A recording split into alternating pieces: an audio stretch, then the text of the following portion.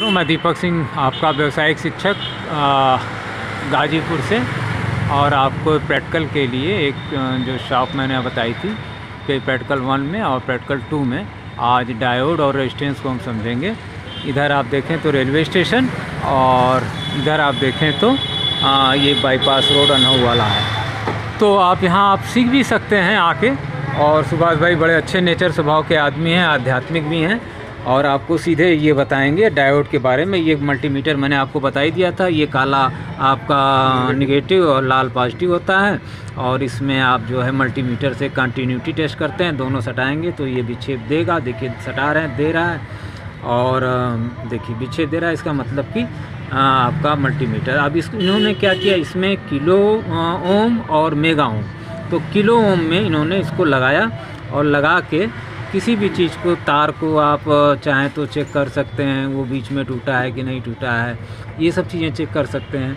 तो आइए हम लोग पहला चेक करते हैं डायोड का पेटकल। तो डायोड आपके सामने देखिए दिख रहा है, ये हाथ में इनके, और इस डायोड में एक तरफ़ सफ़ेद है और एक तरफ़ काला है। तो सफ़ेद वाला पार्ट आपका पी है पॉजिटिव और ये काला वाला निगेटिव। ये आपने पेपर थ्री में मैंने आपको पढ़ाया था। और इस चीज़ को आप देखिए तो आप देखेंगे इसमें एक तरफ़ से धारा जाए मतलब जाएगी और दूसरी तरफ़ से उल्टी दिशा में धारा डायोड कभी कभी प्रश्न पूछता है आपसे कि उल्टी दिशा में डायोड में धारा प्रवाहित होगी तो नहीं। तो देखिए, एक तरफ़ से ये विक्षेप बता रहा है आपको। विक्षेप दिखाएँ सर, ये विक्षेप बता रहा है, इसका मतलब ये सही डायोड है। और एक तरफ़ से दिखाएँ, दूसरी तरफ़ से तो दूसरी तरफ़ से आप देखें तो विक्षेप नहीं जा रहा है। इसका मतलब ये डायोड सही है।